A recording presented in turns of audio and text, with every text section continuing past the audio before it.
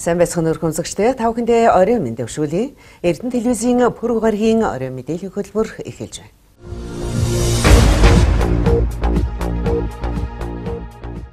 Орхон аймгийн хотын захирагчийн алба орон сууцны хорооллын 66 блокны дээврийг засварлахаар болсон байна.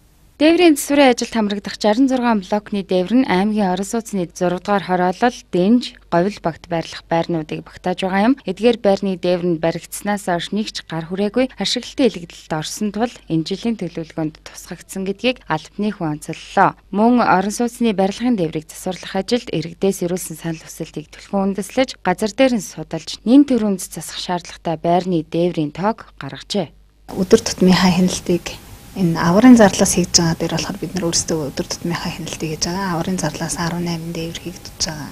Тэгээд түүнийх нь болохоор 48-ийнх нь 45 нь орон нутгийн төсвийн хөрөнгө оруулалтаар, 3 нь болохоор Баян өндөр сумын хөрөнгө оруулалтаар гээд 3 янзын хөрөнгө л та. Тэгээд юу н орон нутгийнх дээр болохоор тэр орон нутгийн хөрөнгө оруулалттай дээвэр дээр болохоор манах ерөн ихэнх хувь дээр нь зохиогчийн хяналтын цохиогчийн хяналт гэдэг маань болохоор үн шатанд нь хяналт тавьдаг хяналт байдаг. Зураг төсвийг боловсруулсан гэсэн үг. Энэ хаврын дээврийн төсвөрийн ажил 1 тэрбум 400 орчим сая төгрөгийг төсвөлсөн байна. Орон нутгийн төсвийн хөрөнгөөр хийх засварын ажлын гүйцэтгэгчид тендерийн хуулийн дагуу тодорхойлсон байна. Харин аварын зардлаар хийх засварын ажлыг хотын захирагчийн албанаас захиалж хяналт тавин ажиллаж байна. Одоогоор 18 компани тус ажлыг гүйцэтгэхээр хүсэлтээ ирүүлжээ.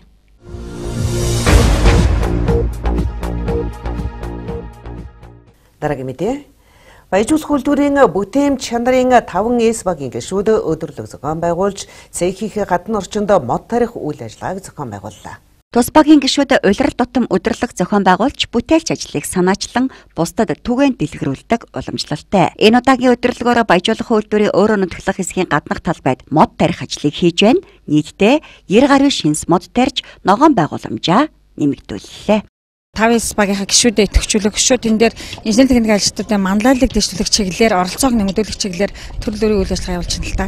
Эхний өдөрлөг маань болохоор 4 сард явагдсан. Тэр өдөрлөгөөр бид нар манайда одоо 5 хэрэгжилтээр үлгэр жишээ механикс механик боловсрол бигнүрийн хэсгийн одоо удирдлага өөрийнхөө үйл ажиллагаа ноу хаагаар танилцуулаад мөн одоо мэдлэгээсээр хахаа тэмцээн зохион байгуулсан бол энэ удаагийнх бол бас энэ ногоон бүтээмжидтэй энэ экологийн энэ орчин нөхцөлд бас өөрсдийн гэсэн хувь нэмрээ оруулах чиглэлээр мөн 5 багийн маань гişүүд болон хэсгийн орлогч дарга нар маструуд гэсэн ийм албан тушаалттай хүмүүс оролцож байгаа. Тэгээ энд ингээд газараа сонгож аваад энэ хэсэгт мод тарьж байна. Өнөөдөр ямар ч нэг 90 орчим мод тарих хэрэгтэй байгаа. Байгууллагын гаднах орчин талбайг сайжруулахаар эко орчин бүрдүүлэх зорилгоор ийхүү мод тарих ажлыг санаачилжээ. Баяжуулах үйлдвэрийн 5С багт нийтдээ 20 гаруй гишүүд ажилладаг байна. Багийн гишүүд үйл ажиллагаагаа сайжруулахаар өдөрлөг зохион байгуулж, баяжуулах үйлдвэрийнхээ удирдах шатны ажилтнуудыг татан оролцуулснаар нийт ажилчдаа 5С хөтөлбөрийг түгээн дэлгэрүүлэх чухал ач холбогдолтой гэж үзжээ. EMS-ийн удаагийн өдөрлөгт хэсгүүдийн орлогч дарга нарыг оролцууллаа. Дараа дараагийн өдөрлгүүдээр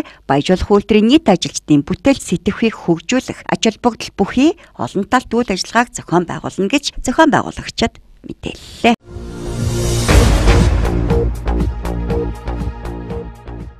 Хавар зүгний хот тогчлолтын ажил болон хот доторх авто замын ашиглалт засварын ажлын явцын тухай мэдээлэлээр хөтөлбөр үргэлжилж байна. Хот доторх авто замын ашиглалт, эвдрэл, элэгдэл нь хот гудамж талбай өнгө үзэмж төдийгүй замын хөдөлгөөнд гол үүрэг гүйцэтгэдэг тул мэрэгжлийн байгууллагууд онцгой анхаарал тавьж ажилладаг. Өнгөрсөн сард хотын захирагчийн алба холбогдох мэрэгжлийн байгууллагуудтай хамтран авто замын эвдрэлтэй хэсэгт хэмжилт судалгаа хийсэн байна. Дулааны улирал эхлэхэд замын илэгдэл эвдрэл нэмэгдэх хандлагатай байсан учраас давтан хэмжилт хийж хаана ямар засвар замын нөхөөс хийх вэ гэдгийг тодорхойлжээ. Одоогоор аймгийн хэмжээнд авто замын нөхөөсний засварын ажлын явц 70 орчим хувьтай байна.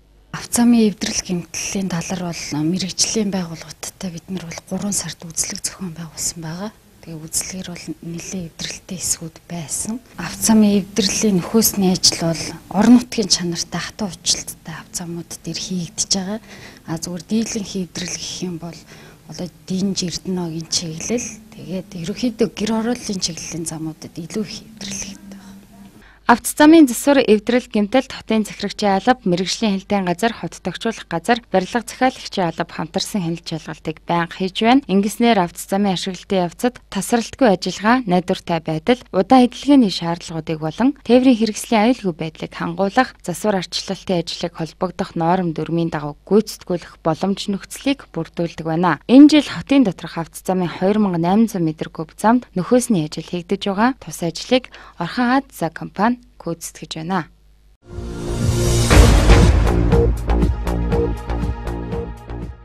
Дэлхийн зах зээл дээрх зэсийн үн хашийн мэдээллийг Эрдэнэ төлөвийн худлааны хэлцээс манайд бэлтгэн ирүүллээ.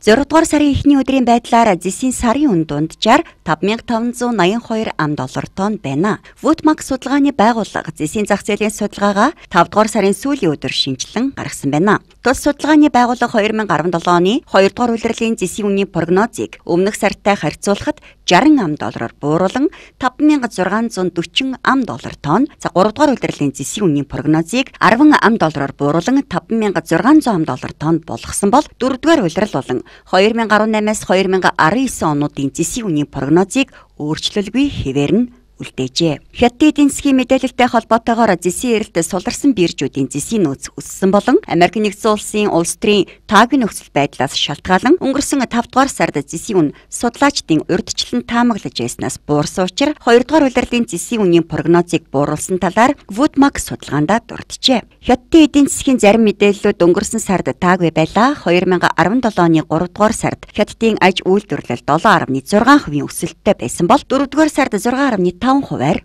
өссөн байна. Хятадын нийт экспорт болон импорт 8.1 болон 11.9 хувиар өссөн нь судлаачдын таамаглалаас бага байлаа. 2017 оны 4 дугаар сард хятадын зэсийн баяжмлын импорт 3 дугаар сартай харьцуулахад 16.9 хувиар, цэвэр зэсийн импорт 30.7 хувиар буурчээ.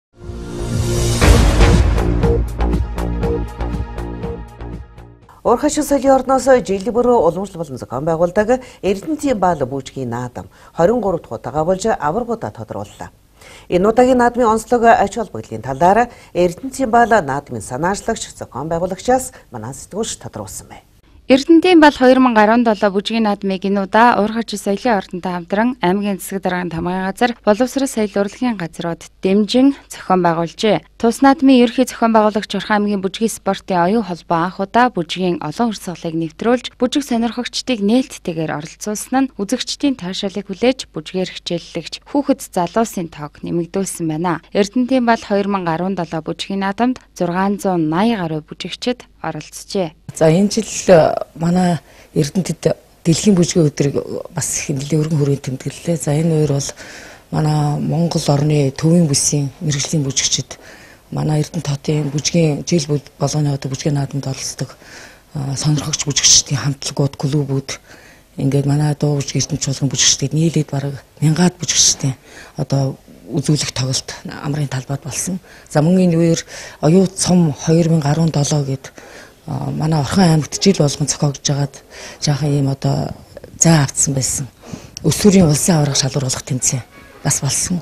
За энэ үеэр л одоо яг Эрдэнэтийн бүжгийн баал нэртэй одоо 23 дахь жилийн наадам маань зохион байгуулагдлаа. Наадмын ер нь гол онцлог бол бүжгийн нөгөө одоо олон төрлүүдийг бид нар бас олон жилийн туршид бол хөгжөөд ирэхээр аяндаа нөгөө хөгжиж яваа түүх маань түүхийнхээ хуудсанд ямиг бол аль болохоор л нэмж л оршруулж л аль болохоор хөгжүүлэх талаас нь одоо зорддог учраас бүжгийн 15 одоо төрөл жанраар шалгаруулсан. Энэ бол одоо манай наадмын өнгөрсөн жилээс бол харин онцлог байлаа. Эрдэнэтийн бал 2017 бүжгийн наадамд хот орон нутгийн 40 орчим байгууллагын бүх насны бүжигчид оролцсон бөгөөд ажилчин залуус насны ангилалд Эрдэнэт төлөвлөрийн тээвэр логистикийн албаны арга зүйч Сүхбаатар, буян хишиг төслийн менежментийн хэлтсийн арга зүйч Молор Эрдэнэ, гал унтраах 58 дугаар ангийн арга зүйч Бат итгэл нарын удирдсан хамтлаг бүжигчид амжилттай оролцож шагналт байранд шалгарсан байна. Эрдэнэтийн бал бүжгийн наадмын цар хүрээ жилээс жилд өргөжөж төвийн бүсийн аймагуудын бүжгийн хамтлаг бүжигчид олноор оролцох болсон нь наадмын төрөл ангиллыг нэмэгдүүлж агуулгыг өргөн болгосонтой холбоотой гэж зохион байгуулагчид онцоллоо.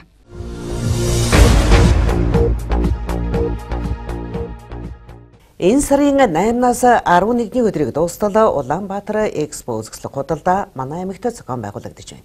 Мэдээллийн дэлгэрэнгүй хүргэе. Улаанбаатар Экспо суглаат үзэсгэлэн худалдаа өнөөдрөөс эхэллээ. Үзэсгэлэн худалдаа хүлэг захын дэргэд байрлах цах маркетийн хоёр давхарт явагдаж байна. Үзэсгэлэн худалдаанд энтхэг торг, энтхэг бараа, түүрэг бараа, төрөл бүрийн гутал хувцсыг хямдралтай үнээр худалдаалж байна.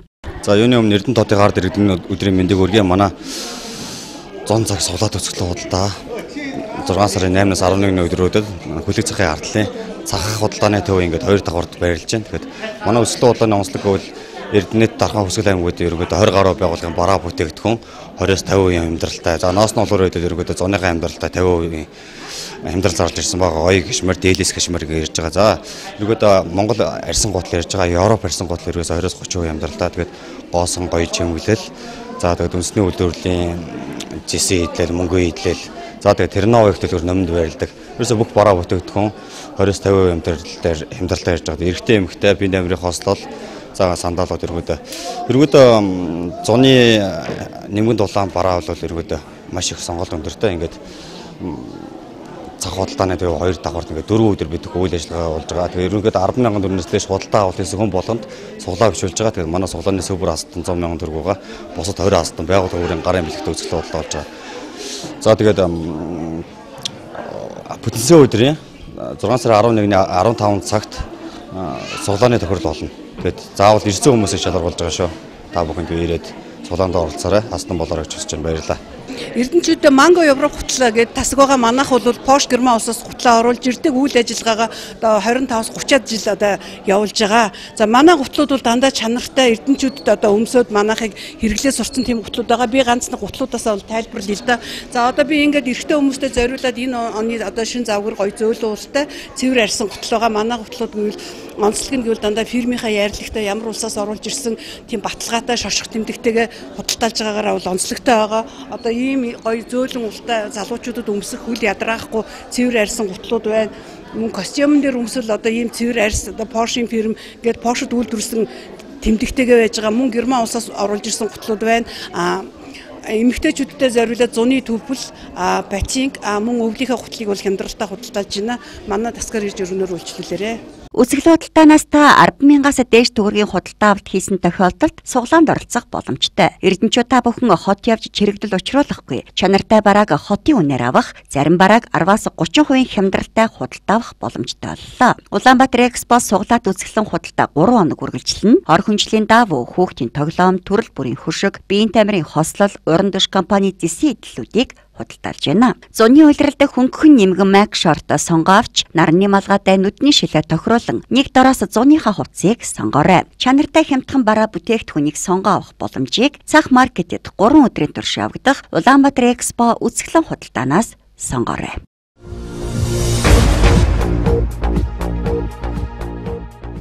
Манай мэдээллийн хөтөлбөрөөр зочны ярилцлагын цагаар үргэлжлэж байна. Зочинтой сэтгүүлч Мөнх Уянган ярилцсан.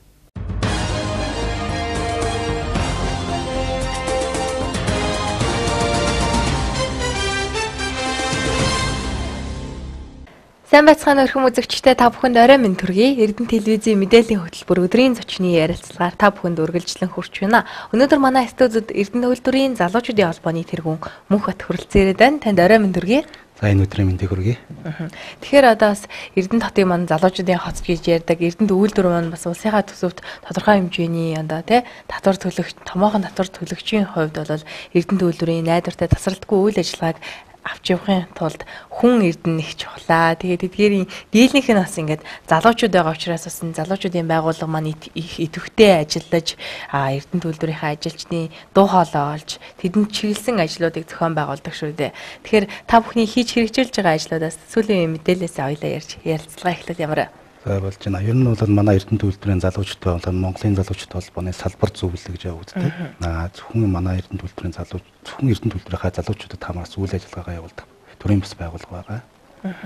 Аа манай одоо Эрдэнэ төлбөрийн залуучуудтай холбооны нийт аа 3160 залуучууд байна. 18-аас 40 насны залуучууд. Аа сүүлийн 3 жилийн хугацаанд бол 1110 залуу шинээр ирсэн байна. Одоо нэгсэндээ Эрдэнэт үйлдвэр маань шинээр болоо тусаа сэлбэж байна л гэсэн үг тийм.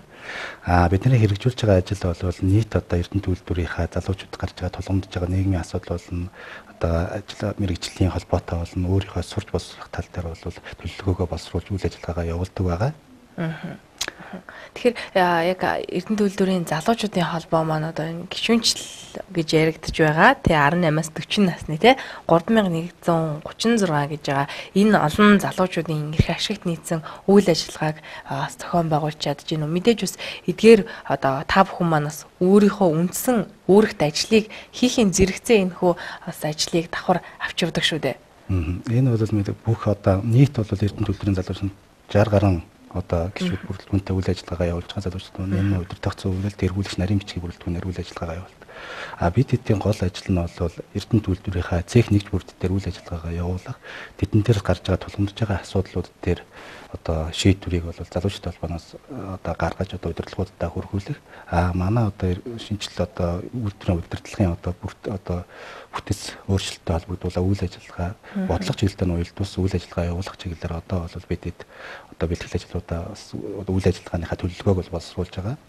Аа дээрэс нь одоо ерөнхий захиралтай уулзах уулзалт маань зохион байгуулах чинь энэ нь бол бидний юм бол хийгдэж байгаа үйл ажиллагаа залуучуудад гарч байгаа тулгамдж байгаа энэ асуудлууд эднийг бол үйл ажиллагаагаа бол бүгд төрөндийн танилцуул залуучууд холбоо гэж юу байдгийг энэ юуны төлөө бидэд ингэ зүтгэж байгаа. Аа бид нэр бол мэдээж цалин урамшуул гэж байхгүй ч ажлын цаг бусаар бол явуулдаг байна. Тэгээд бол бидэд бол бодлого чиглэлтэй нь уялдуулж үйл ажиллагаа чиглэлийг одоо уялдуулж ажиллахыг л одоо төлөвлөж байгаа даа. Сүүлийн жилүүдэд за ялангуяа одоо жил бүр уламжлал болгоод тогтцсон тий. За бас тодорхой хэмжээгээр залуучуудын манд дунд хүлээлт үүссэн та бүхний зохион байгуулдаг ажлууд байдаг шүү дээ. Тэдгээр ажлуудаас та дурдаач. За ерөнхийдөө бол бид л одоо аль биесны одоо уламжлалт баяруудыг бол тухайн үед нь бол уламжлал болон явагдаж байгаа. А бид энэ жил бол тодорхой цех хэсгээс гарсан сан сан ажлыг гарсан нэг 7 бүлэг 54 ажлыг бол боловсруулсан байгаа. Энийхээ бол ерөнхий ерөнхийдөө бол үйлдвэрийн удирдлагууд бол хөргүүлсэн байгаа. Тэгээ хийгдэх ажлынхаа төлөвлөгөөг бол боловсруулад гаргаад өгсөн байгаа. Тэдгээр та дурдж. А ерөнхийдөө одоо бид нар хийгдэх одоо гол ажлууд бол одоо технологийн сургуультай хамтарч үйл ажиллагаа явуулахаар бол бэлтгэл ажил хангасан байна. Бас одоо бас нөгөө нэг юутай хаптай бас хамтарч үйл ажиллагаагаа явуулахаар бол одоо үйл ажиллагаа явуулж энэ бол тахтар бол залуучууд бол сурч хүмүүжүүлэх те. Дээрээ боловсрох. Одоо залуу хүний гол зорилго нь бол би өнөөдөр хаана хүрэх вэ те? Ямар мэрэгжилд хүрэх вэ те? Би хэдэн жилийн дараа тийм газар одоо тийм мэрэгжилтэй тийм эсэнд хүрсэн байх хэрэгтэй гэдгийг болохын тулд бид хэд өөртөө зорилго тавиад тэрнийхээ дагуу бид юу юу сурах хэрэгтэй юм бэ? Юу юу болох хэрэгтэй юм? Чөлөө цагаа бид энэ тал дээр яг хөгжүүлэх тал дээр би бол одоо энэ үйлдвэрийн залуучтай холбоо чиглэж байгаа. Энэ нь бол одоо бидний гол ажил. Одоо энэ зах зээлийн нийгэмд бол залуучууд бид нар хөгжихийн тулд бид нар өөр өөртөө цаг гаргаж өөр өөртөө бол одоо сурах боломжийг бол нээх хэрэгтэй л гэж ажиллаж байгаа да. Ер нь энэ залуучууд маань яг юу хүсч мөрөөддөг юм болоо? Энэ уурхай тий уурхайд Эрдэнэт үйлдвэрт уул уурхайн салбарт ажиллаж байгаа одоо чиглэл чиглэлийн мэрэгжилтнүүд шүү дээ тий ялангуяа Эрдэнэт үйлдвэр маань одоо үйлдвэрлэлийн болон нийгмийн гэсэн одоо 30 гаруй одоо хэсэг цех нэгжийн бүрэлдэхүүнтэйгээр найдвартай тасралтгүй үйл ажиллагаагаа явуулж байна. Тэдгээр одоо нэг ч хэсгүүд одоо бүгд өөр өөрсдийнхөө үүргээр нэг нэг нэг дэмжих байдлаар энэ бас үйлдвэрийнхаа одоо хөгжлийг бас ингээд урагшлуулж явдаг шүү дээ. Тэгэхээр яг тэдгээр залуучууд маань яг юу хүсч мөрөөд юм бэ? За мөрөөдөх тэдгээр одоо залуучуудын дуу хоолой, залуучуудын холбоонд хэр хүрдэг юм бэ? Анхан шатны зөвлөлүүд нь бас хэрхэн ажилт юм бэ? Аа. Яг залуучууд одоо одоо Монголын одоо дэлхийн хөгжлийн хувьд бол энэ одоо хөгжил, үйлдвэрлэлийн хөгжил, инженерч гэний хөгжил гэж зөндөө хөгжлүүдийг одоо бид тэрнтэй хөл нийлүүлэхийн тулд бидэд одоо хөгжих ёстой. Тийм учраас тодорхой сургалтууд, тодорхой мэрэгчлээс үүссэн сургалтууд өөр өөртөө цаг гаргасан ажлуудыг бол өөр өөртөө гаргаж мөн удирдлагаас нэг дэмжиж одоо явуулах бол айлшгүй шаардлагатай байна. Энэ тал дээр бол бас тодорхой одоо өөр өөр мэрэгчлэлтэй хүмүүс ч гэсэн энэ мэрэгчлүүдийг бид нэр одоо аль болох бусдад одоо харуулж үзүүлэх те энэ тал дээр бас ажиллах одоо ийм чиглэлийн мэрэгжлийн хүмүүс байдаг ийм ажил хийдэг гэдгийг бол тодорхой одоо канал телевизтэй хамтраад бол энэ ажлыг бол хийхээр бас төлөвлөсөн ажлууд байгаа.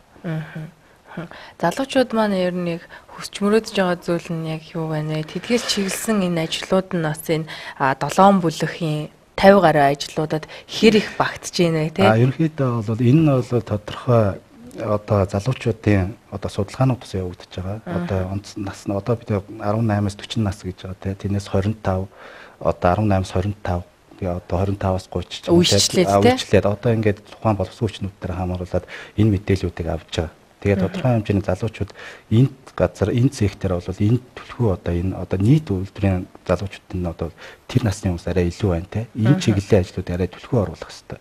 А тухайн цэг цэгийн онцлог нь өөр өөр байгаа байхгүй. Тэрэн дээр цэг хэсгүүд нь өөрсдөө энэ чиглэл дээр одоо арай залуу 25-аас 30 насны залуучууд арай ихтэй байна гэх юм уу? Тэр чиглэлтэй үйл ажиллагаа арай түлхүү явуулах ч юм уу те?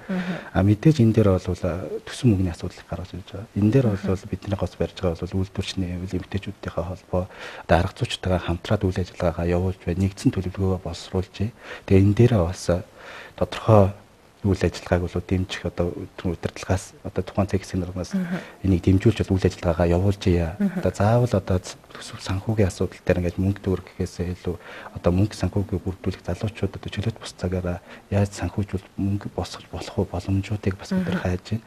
Мөн одоо үйлдвэрээс гарч байгаа төсөв хөтөлбөрүүд дээр бол залуучуудыг одоо чөлөөт цагаараа бол зөв боловсон өнгөрүүлэх зорилгоор бол санхүүжилттэй мөнгө бий болгох мөн одоо залуучуудын холбоог бол санхүүжлэх дээр бас үйл ажиллагаа явуулах болохоор бас янз янзын аргачлалуудыг бол бид нар одоо босруулж байна ажиллаж байна бас тэн дээр бас нэмэлт нэмэлт одоо санаанууд удирдлагуудаас гарсан саналууд дээр бас бид нар нэмэлт өөрсдөө оруулж төлөвөө бас босруулж байгаа. Аа тэгэхээр та бас одоо шин цагийн залуучуудын байгууллагын удирдлага хүний хувьд те одоо энэ залуучуудын хөгжлийг хэрхэн хардаг вэ? За тэгээд бас онцлоод асуувал мэдээж үйлдвэрийнхаа залуучуудын хөгжлийг хэрхэн харж байна вэ? Бидний хөгжил болвол манай үйлдвэр удирдлагаас бас манай үйлдвэр маань ер нь бол дэлхийн томоохон үйлдвэр хөгжлийн хувьд бол нэлээд өндөр түвшинд бас ажилладаг. Тэгэхээр бол бид хэд бол энэ залуучууд маань бас тодорхой хэмжээнд бол хөгжлийн тодорхой түвшинд бас ажиллаж байгаа. А гэхдээ бол бид хэд бол энэ түвшингөө нэмэгдүүлэх энэ залуу хүмүүс ялангуяа одоо дараа дараахын карьераар хөгжих юм уу дараа дараахын боловсроо нэмэгдүүлэх оюунаа хөгжих энэ тал дээр бол залуучууд бол тодорхой хэмжээнд бол хөгжих шаардлага Аа. Шүүмжлэлтэй ханддаг асуудал гэвэл одоогийн залуучуудын хавс те. Аа, шүүмжлэлтэй тал бол яг хөө те одоо бол нэг л жоохон миний хувьд хувийн бодол бол яг улс төрийн асуудал бол залуучууд дээр бас тодорхой хэмжээнд орж ирж байна. Аа, манай үйлдвэрийн залуучуудын холбоон дээр бол энэ зохион байгуулж байгаа тэргүүлэгч удирдах зүйлэгчүүд бол яг нийтийн залуучуудын эрх ашигын төлөө явуулдаг үйл ажиллагаа гаргадаг. Энэ дээр бол тодорхой нам ус гэсэн энэ нам ус төрийн ямар үйл ажиллагаа явуулах вэ яхад гэж ажилладаг. Аа. За энэ иймэрхүү л байна. Тэгэхээр залуучууд маань одоо цех цех дээр байгаа анхан шатны зөвлөлтөг илүү тулж ажиллаж те мэдээж бас энэ залуучдын холбооны маань нийт гişүүд бол тэр 3000 гаруй залуучуудад хурц хүчлэн гэвэл бэрхшээлтэй ялангуяа өөрсдийнхөө үндсэн ажлын цав зав зайгаар зохион байгуулдаг ажлууд дийлэх нь учраас за тэгэхээр бас анхаарчны зөвлөлүүд хэрхэн ажиллаж гин ямар системтэйгээр ажиллаж гин тэдгээрээс бас илүү сайн ажиллаж байгааг нь та дуртаач. За ерөөд цех хэсэг нэгжүүд харилцсан янз янз байгаа. А гэхдээ бол бидэд энийг идэвхжүүлэх энэ удирдлагууд одоо тухайн тэргүүлэгч нарийн бичгүүдийг сургах Одоо залуучууд бид нар одоо хөгжлийн хувьд өөр өөрийгөө сургах энэ тэргүүс удирдах зөвлөлүүдээ бас сургах тал дээр бас ажлууд хийгдэж байна. Энэ дээр зургаан сургууль семинарт одоо ингээд сургалтын одоо технологи сургалтын хамтраад үйл ажиллагаагаа бас илүү бас сайн болоо удирдах одоо талаар нь сургах одоо энэ нийгэмд яаж ажиллах уу яаж удирдах уу залуучуудыг яаж манлайлах уу те энэ тал дээр бол энэ тэрүүс нарийн бичвүүдийг бол явуулж байгаа. Цэг хэсэг нэгжүүд дээр бол тодорхой цэг хэсгүүд зарим одоо шинээр бүтэц бүрэлдэхүүнээ өөрчилж, шинээр одоо залуучууд маань үйл ажиллагаагаа өөрийн санаа болгоо санхүүжүүлэлтэд бий болгож үйл ажиллагаа явуулж байгаа цехүүд зөндөө байна. Одоо энерги цехч байна, автомобилийн байгууллага гэл ер нь гэл цехүүд бол тодорхой фабрикч байна. Гэл ер нь бол ажлууд бол байгаа. Яг хөө энэ болох дээр бас нөгөө талаасаа бас зарим нэг цех хэсэг нэгжтэр бол бас одоо бид хэд очиж уулзж байгаа одоо хурал зүглан хийж гэн зарим нэг тэргүүлэгч нь одоо тодорхой бусдад шилжих өөрчлөлтүүд орсон зарим зэх хэсгүүд дээр бас байгаад. Энийг бол шинжилж бас цэглээ. Одоо гол бидний гол зорилго нь бол энэ гол цэг хэсгийн тэргүүлэгч нь гол ажлуудыг хийдэг. Яг цэг хэсгээс гарч байгаа санал одоо нийгэм тулгамчаа залуучууд энэ асуудлуудыг бүгдөө гаргаж ирээд энэ залуучуудын холбоотой тавина. Залуучуудын холбооны үйл ажиллагаа нь бол удирдлагатайгаа хамтарч яаж ажиллах вэ? Энэ тал дээр нийгмийн асуудлыг яаж дэмжих вэ? Энэ талууд дээр бол ер нь бол битэд нэлээд олон асуудлуудыг бол ерөнхий одоо үйлдвэрийн удирдлага талаар тавихаар бол шийдвэр гарсан байна. Бид нар ерөнхий техникээс бол албан ёсолтуудыг тавигдсан байна. Эрдэнэ төлдөрийн маань залуучуудын холбоо, за тэгээд Монголын залуучуудын холбоо, Орхон аймгийн залуучуудын холбоо гэдэг одоо нийслэлийн хувьд өөр байгаа ч гэсэн яг нэг зорилгын хүрээнд те залууч залуу хүний хөгжил, за түнчлэн түүгээр дамжуулаад салбарын хөгжил болоод бүр цаашлуул эх орны хөгжил төв нэмрээ оруулах, энэ залуучуудыг чадваржуулах, идэвхжүүлэх, тэдгээрийн хөгжлийн төлөө чиглэсэн үйл ажиллагаанууд явж байна. Харин та бүхэн те хамтын ажиллагаагаа хэр өргөжүүлдэм болоо хамтарч энэ залуучуудаа чиглэсэн үйл ажиллагааг хэр зохион байгуулдаг вэ? За хамтын ажиллагааны хувьд бидэд бол ижил төстэй уулуурхан компаниудтай бол хамтарч ажиллаж байгаа. Энэ нь болохоор хамтын ажиллагааны гэрээ эхнээсээ хийгдэж байна. А энэ нь болохоор бидэд бас яг нэг бас өөр чиглэлийн уурхаудаа бас харилцсан бас нэг нэгэнтэй туршлах солилцоо бас тэрнээс авч авахаар инновац одоо шин санаа саналуудыг бас боловсруулах бас үнэхээр ийм байдгийм тийм байдгийм гэдэг тал дээр бол бас уурхаанд харилцсан нэг нэгнтэйгээ одоо танилцах тэрний одоо мэрэгчлүүд ижил төстэй мэрэгчлээ хүмүүсүүдийг харилцсан одоо тэр чиглэлээр нь одоо одоо солилцох хийх энэ ажлуудыг бас одоо төлөвлөсөн одоо бас ингээл ажлууд бүх ажлууд төлөвлөсөн байгаа. Аа Монголын залуучуудтай холбоотой мэдээж тэнцээс гарч байгаа чиглэл бодлогын хүрээнд бол үйл ажиллагаа явуулж байгаа гарч байгаа үйл ажиллагааг бол тодорхой энэ чиглэлд явуулах ажлуудыг бол энэ ч хөргүүлж ажиллаж байгаа. Эрдэнэт маань бол уурхай даган сүндэрлсэн хот гэдэг утгаараа нийлээд 50 хоттой бас ордог шүү дээ. Эрдэнэ төлөвлөр маань ч гэсэн одоо тодорхой хэмжээнд хөгжлийн түүхэн 40 гаруй жилийг ингээд ардаа үлдээсэн гэдгийнхаа хувьд үйл ажиллагаа нэгэнтээ тогтмолж шигсэн те. Тэгэхээр яг энэ залуу хүний бас ингээд энэ цаг нийгмийн юм ритмтэй энэ цаг үе хөгжлийн шатанд те бас яг энэ 50 орон зайд ажиллаж байгаа залуучууд маань бас одоо шинээр ажилд орсон залуучууд маань ч гэдэг юм уу бас ингээд уусах За тэгээд бас шүүмжлэлтэй хандах асуудлууд байдаг л да. Ялангуяа эрдэнэ төлөвлөрийн ажилчдын, залуу ажилчдын хувьд те. Яг тэдгээрийн хувьд та бас ингээд удирдлагын хувьд сэтгэлгээг нь өөрчлөх, за шинжлэх тэдгээрийг сэтэлжүүлэхэд ямархуу бодлого байр суурьтай байдгийн болоо. А яг энэ дээр бол яг үйлдвэрийн удирдлагаас ч гэсэн а залуучуудын холбооноос ч гэсэн гол тавих асуудал нэг болж байгаа. Одоо яг залуучууд шинжилж одоо шин шин залуучууд орж байна. Одоо энэ тал дээр бол яаж ажиллах вэ те? Одоо энэ дээр сөрөг нөлөөтэй асуудлууд юу байна те? Өнөөдөр бас хичнээн тайван жигсэн бид нэр ажлын бус цагаар одоо Эрдэнэ хоттой бүх амьдарч ажиллаж амьдарч байна. А тэр хугацаанд бол бид нэр тэр хугацаанд Эрдэнэ хот яаж одоо одоо амьдрах уу те өөрийгөө бий болгохын тулд ямар цаг завыг одоо аль аль юу юунд зарцуулах уу энэ бүгд дээр бол ажиллах хэрэгтэй зааж. Тэгээд яг гоо шүүмжлэлтэй тал дээр бол мэдээж одоо шинээр орж байгаа залуучуудын хувьд бол удирдлагуудаас гэсэн шүүмжлэлтэй талууд их байгаа. Энэ талууд дээр ч гэсэн бидэд бол энэ ажлыг хийхэд бол заавал үйлдвэрийн удирдлага залуучууд өөрсдөө хоорондоо бас нэг адилхан уялдаа холбоотой ажиллаж ийж энэ ажил бол нийгэмшиж явна л гэж би боддог. За баярлалаа. Тэгэхээр бидний урилгыг хүлээн авч манай эсэд хүрэлцэн ирж Эрдэнэ төлөвлөрийн залуучуудын холбооны үйл ажиллагаа болон за бас залуу хүмүүсийн тэг хүсэл мөрөөдөл за хөгжил чиглэл хандлагын талаар бас сонирхолтой яриа өрнөсөн танд их баярлалаа. Та бүхний ажил үйлс өндрөөс өндрөө амжилт хүсье. Ялангуяа энэ ажилчдынхаа, залуу ажилчдынхаа дуу хоолойг уламжилж за тэдгээрт чиглэсэн үйл ажиллагааг өөрсдийн цаг завыг бас зарцуулан хийдгээ бас нийт залуучуудынхаа өмнөөс талархлаа илэрхийлье. За баярлалаа. Баярлалаа үзэгчдээ мэдээллийн хөтөлбөр үргэлжлэн хурч байна. Өнөөдөр манай студиуд Эрдэнэ төлөвлөрийн залуучуудын холбооны тэргүүн мөнхөд хүрэлцэн ирж оролцсон байгаа. Та бүхэн мэдээллийн хөтөлбөрөөр үргэлжлүүлэн хүлээн авч үзнэ.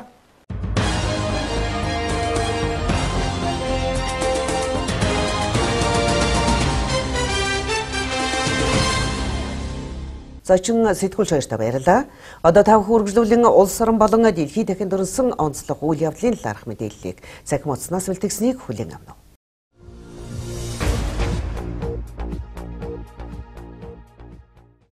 Америк одоо орончид Цельсийн 4000 градусын халуун гадаргуутай шинэ гаригийг нээсэн байна. Ийм өндөр хэмнэн нарны гадаргуугийн температуртай ойролцоо юм халуун гариг нь манай нарны аймгийн Бархасуд гаригаас 2 дахин том гинэ. Энэ гариг нь одоогоор мэдэгдэж байгаа гариг эрхсүүдийн дотроос хамгийн халуун бөгөөд дэлхийгээс 650 гэрлийн жилийн зайд хунгийн ордонд байрладаг байна. KLT 9B гэдэг нэртэй энэ гариг KLT 9 гэдэг халуун одыг маш ойрхон зайд тойрон иргэдэг ба энэ одыг бүтэн нэг тойрох хугацаанд дэлхийн 2 хоногтой тэмцдэг ажээ. Энэ гаригийн гадаргуугийн хэм Цельсийн 4300 градус хүрдэг нь улаан одоо одны хэмээс ч их байгаа юм а. Энэхүү нээлтийг Америкийн Огайо мужи улсын их сургуулийн судлаачид хийжээ. Эрдэмтдийн үзэж байгаагаар KLT 9 од нь нарнаас 2.5 дахин хүнд жинтэй 2 дахин их халуун гин. KLT 9B гаригийг эрдэмтэд 2014 онд илрүүлсэн бол уг гаригийг ажиглан судлахад 3 жилийн хугацаа зарцуулжээ.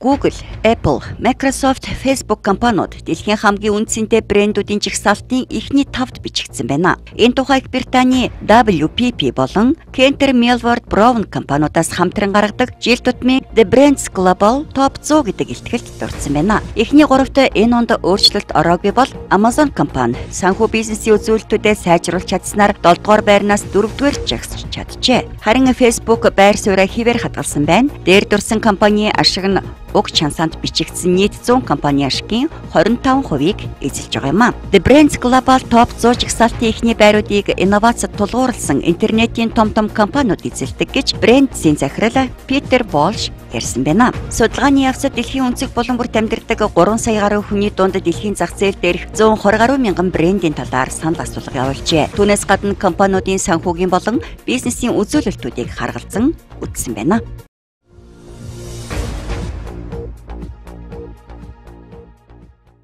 Монгол орны нутаг дэвсгэрийн 76.8%-нд сүлжилтэд өртсөн байна. Уур амьсгалын өөрчлөлт, бэлчээрийн зохисгүй ашиглалт, уулуурхай үйл ажиллагаа зэргээс үүдэлтэйгээр газрын доройтолд оржээ. Тэр дундаа хамгийн их сүлжсэн аймаг нь Говь сүмбэр нийт нутгийнх нь 62.8% нь сүлжсэн байна. Мөн Дорнод аймгийн 43.5%, Сүхбаатар аймгийн 31.1%, Дундгой аймгийн 27.9%, Өмнөгов аймгийн 17.5% нь сүлжжээ. 2016 оны гадаргын усны нэгдсэн тооллогын дүнгээр 777 булаг, шанд 263 гол горих, 346 нуур хатаж ширхсэн дүн гарсан байна.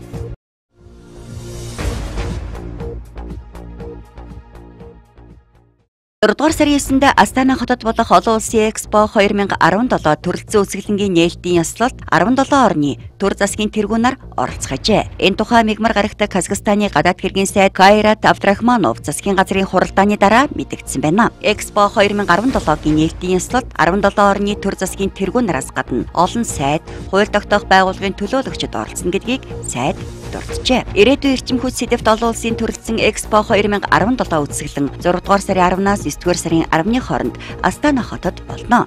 Уг үзэсгэлэнд 115 орон 22 олон улсын байгууллага оролцно гэдгээ батлан мэдэгджээ. Экспо 2017-гийн үеэр Казахстан улсад 3000 гаруй соёл спортын арга хэмжээ зохион байгуулахаар төлөвлөж байна.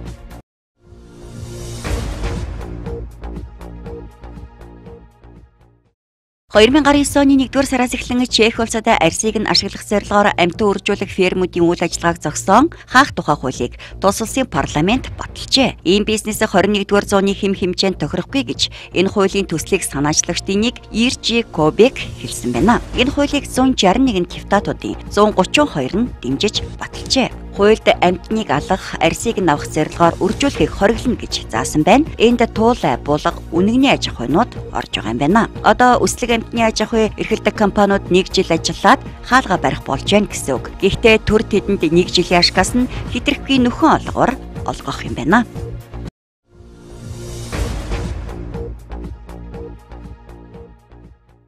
Аптема дахь гүний гайлын хяналтын бүсээр Yubin Coffee House компани Гонконг улсын Golden Future Trading компаниас 165848-ын 9 тоод чингэлгээр импортлсон Бразил Green Arabic, Индонеза Green Arabic гэсэн хоёр төрлийн нийт 475 кг кофений буур цагны чанар аюулгүй байдалд мэрэгжлийн хяналтын газраас шалгалт хийжээ. Хяналт шалгалтын явцад кофений буур цаг тус бүрээс дээж авч ургамлын 20 цэрийн болон хор судлалын лабораторийн шинжилгээнд хамруулахад хор судлалын шинжилгээгээр нийлбэр афлатоксин Бразил Green Arabic кофений буур цагт 27171 кг буюу стандарт стандартын шаардлагаас 6 дахин их. Indonesia Green Arabic Coffee-нд 36397 кг буюу стандарт шаардлагаас 9 дахин их байсан ба загвар дээжийн давтан шинжилгээгээр нийлбэр афлатоксин 7600-ны 16 кг байсан нь стандартын шаардлагаас 10-аас 19 дахин их байгаа нь Монгол улсын стандарт хүм малын тэжээл дэх микотексины үлдэгдлийн зөвшөөрөгдөх дээд хэмжээ MNS 6361 2012 стандартын шаардлагыг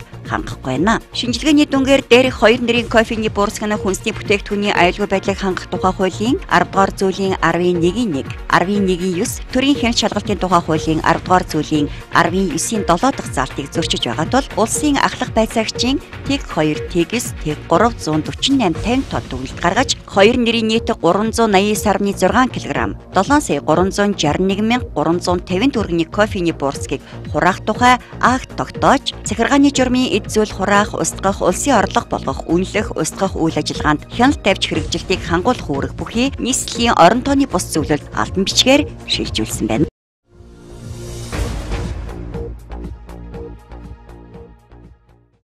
Мэдээллийн хөтөлбөрөөр төгсгөлд хотуудын ойрын 3 хоногийн цаг агаар мэдээ арилжааны банкудаас ирүүлсэн баялуутын ханшийн мэдээллийг хүргэе.